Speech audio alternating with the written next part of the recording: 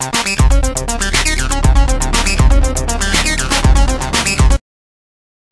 everyone, TechKMH here. Today I'm going to show you how to remove the genuine message uh, in Windows 7.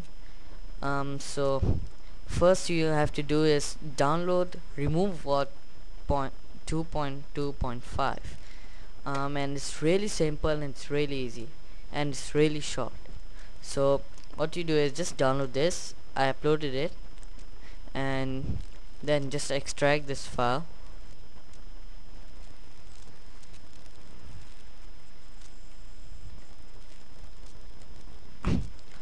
Then what you do is just open this folder.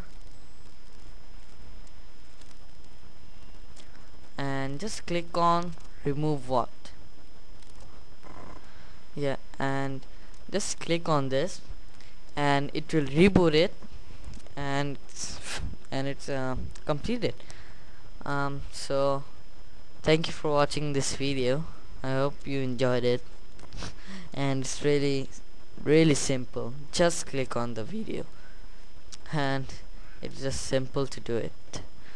Um, so if you want to watch any other videos you want um, you can just comment. So and I'll reply as soon as possible and I'll make some videos. Okay? And goodbye